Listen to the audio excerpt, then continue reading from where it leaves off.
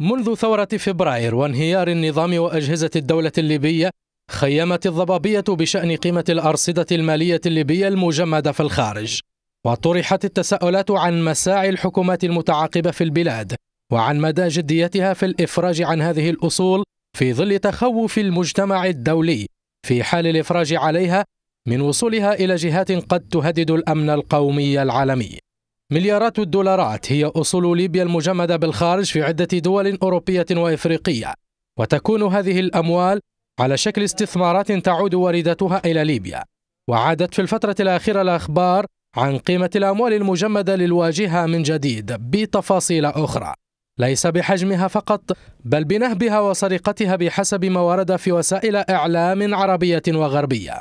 ونشرت التقارير عن سرقة أموال تعود ملكيتها للدولة الليبية في بلجيكا والإمارات. صحيفة العربي الجديد كشفت هذه المرة عن تبديد الإمارات للأموال الليبية المجمدة لديها التي تقدر بخمسين مليار دولار بشكل غير قانوني عن طريق محمد دحلان المقرب من المسؤولين الإماراتيين ونقلت الصحيفة عن مسؤول ليبي قوله إن الأموال جرى نقلها عن طريق شركة بدبي وأخرى في أبو ظبي وصرفت على أنشطة قائد ميليشيات الكرامة خليفة حفتر. وبحسب الصحيفة فإن الأنشطة الممولة تمثلت في دعم قاعدة الخروبة العسكرية وشراء أسلحة من روسيا وأوكرانيا وكندا وتدريب مئات العناصر المسلحة. أموال منهوبة ومجمدة في عدة مصارف دولية وعالمية. تظهر عجز السلطات المتعاقبة في ليبيا في العثور على سبل للإفراج عليها وإعادتها إلى البلاد.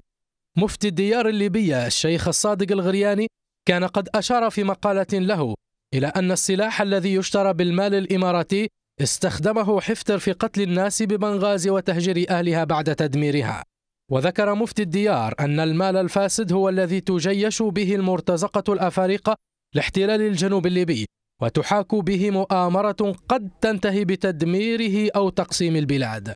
غير أن ما كشفت عنه العربي الجديد يدل على أن الأموال التي تضخها الإمارات في حسابات قائد ميليشيات الكرامة ليس بالمال الفاسد بل هو مال الشعب الليبي الذي نهبه القذافي وهربه إلى الخارج والآن يعيد حفتر نفس نهج سلفه المقبور وينفق أموال الدولة المجمدة على السلاح والعتاد.